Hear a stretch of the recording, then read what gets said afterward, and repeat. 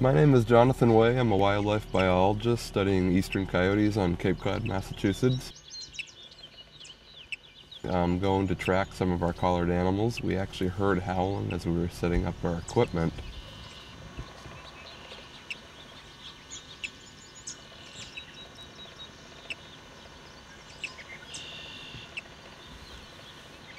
Right now I'm radio tracking an eastern coyote in typical habitat. There's a number of houses that dot this neighborhood, but there's also some swampy woods about uh, 100 yards or so from where I'm located.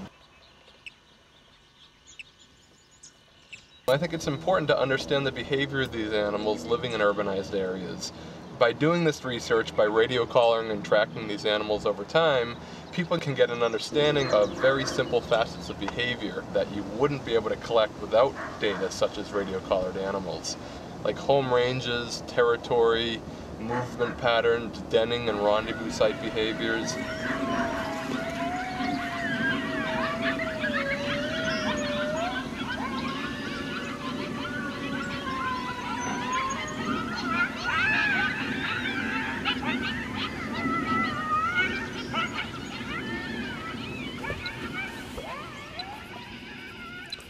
It was at 526 when we got her.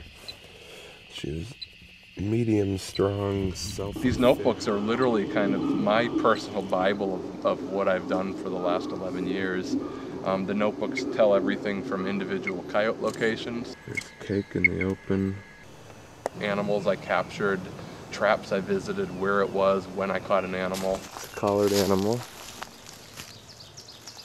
And has a on the ear. It looks like gas.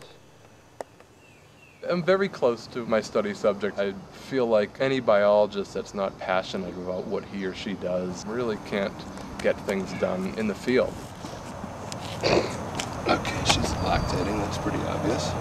You have very little financial support. Um, you're very often doing it in conjunction with a different job, whether it's being in graduate school, being a professor, teaching high school. That being said, I think it's inevitable for someone spending so much time on any animal to be attached to their study subjects. This guy has her snout. And so I think that naturally, over time, studying animals, sometimes for years on end, where we've captured an animal and we've given it another radio collar, you learn a lot about the subjects, but you also develop a bond. It, it's hard to, to, to, think that you wouldn't have a rooting interest for your study subjects when you watch them over a period of years. Now, that doesn't mean the animals in the wild like me. They want to have nothing to do with me. But that also means that I'm tracking them kind of from the sidelines or more likely from my car, watching them cross the road at night or in the early morning. And all of those things allow me to look into their lives and, and learn all the things that we're learning about these animals. Most people think that coyotes live everywhere, and little do people know that these are the same animals, this particular pack, that also goes many neighborhoods away, five, ten miles a night through travels. And it's a territory that they defend from other coyote packs. So people, through our research, can very quickly learn that there aren't coyotes everywhere, that they're actually territorial, they prevent their own overabundance. And by preventing their own overabundance, you can actually leave coyotes in an area and have them guard this area from other coyotes.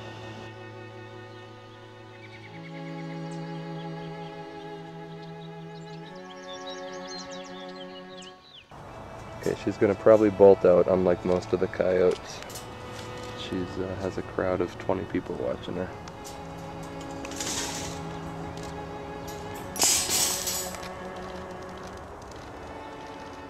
She's probably going to stop and look back.